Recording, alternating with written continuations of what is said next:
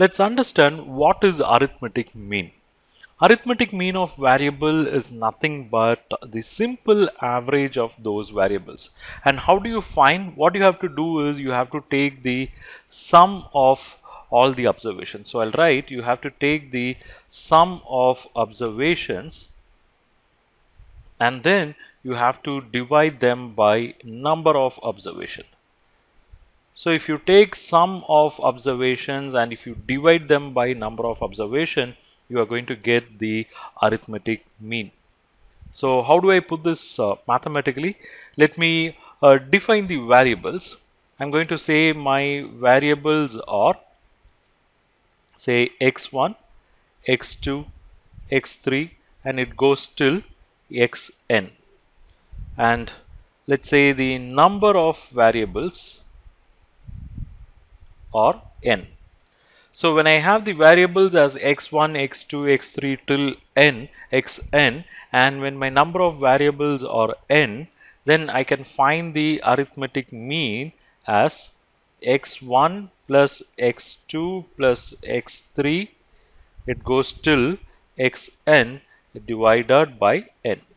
So this is my arithmetic mean and if I uh, compress this as a formula I'll, I'll write that here. If I compress this as a formula my arithmetic mean is going to be summation of I'm using the symbol here new symbol summation of i is equal to 1 to n. That is the variables starting from 1 2 3 till it goes to n. So summation of x which is represented by i and i is nothing but 1 to n.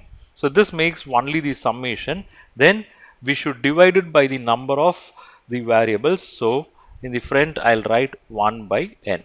So it is 1 by n into summation of i to the i from 1 to n xi. So this gives your arithmetic mean and if I simplify this arithmetic mean is nothing but summation of x divided by n.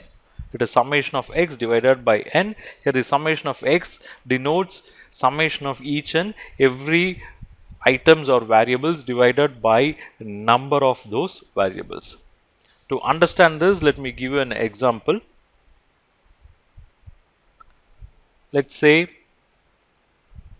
you have the numbers like 2, 4, 6, 8, and 10 and if you want to find arithmetic mean I'll write arithmetic mean is 1 by n and the formula says summation of i is equal to 1 to n and xi.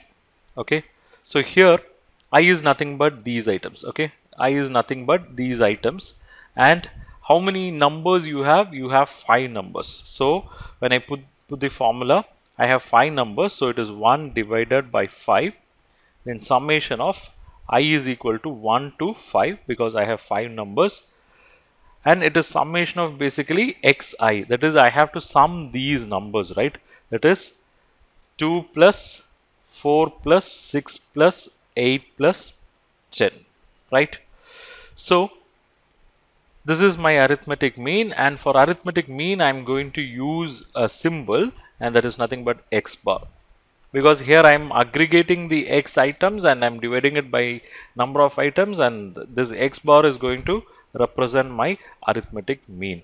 So let's see how much my x bar is 1 by 5 into the summation of these items is going to give me the value as 30.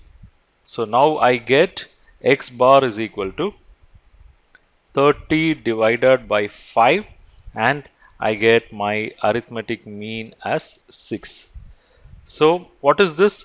This arithmetic mean of 6 denotes it is the average of these 5 numbers. You have 5 numbers and its average is 6. So that's what we find in arithmetic mean. But you also have got a shortcut method for finding arithmetic mean which I'll take you in next session.